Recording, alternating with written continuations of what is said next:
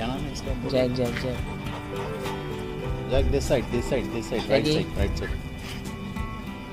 Uh, this is almost 15 days later.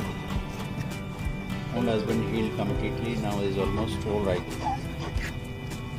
थोड़ा सा आगे ले आँख के पास। Vision is restored.